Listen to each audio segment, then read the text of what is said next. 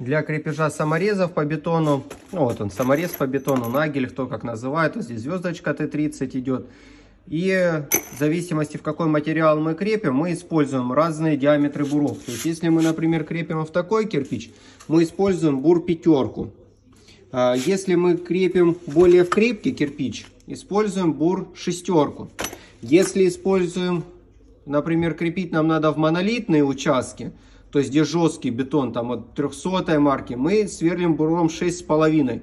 Бывает даже используем семерку. Если нам надо засверлить, вот как здесь сверлили, вот так вот за углом берем тот же бур шестерку, но длину берем вот так, 600, 450. А чтоб легче он заходил, берем вот такую вот насадочку с SDS плюс набиту, ставим ее на перфоратор и закручиваем сверление с ударом. А если просто загоняем, то ставим чисто на сверление.